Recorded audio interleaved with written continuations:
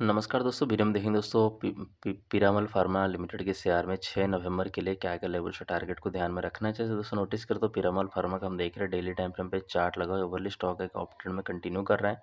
और यहाँ पे देखेंगे स्टॉक यहाँ पे अपना टैलेंट को ब्रेक डाउन करके नीचे आया, लेकिन थोड़ा सा अगर ध्यान देंगे, ये एक रेजिस्टेंस लाइन है वन ज़ीरो नाइन का और काफ़ी समय से जो है इसी रेजिस्टेंस को ब्रेकआउट नहीं कर पा रहा राइट तो अगर ये अपना स्टॉक इस रेजिस्टेंस को ब्रेकआउट करते तो यहाँ से आपको बड़ी तेज़ी देखने को मिल जाएगा, ये ध्यान रखना।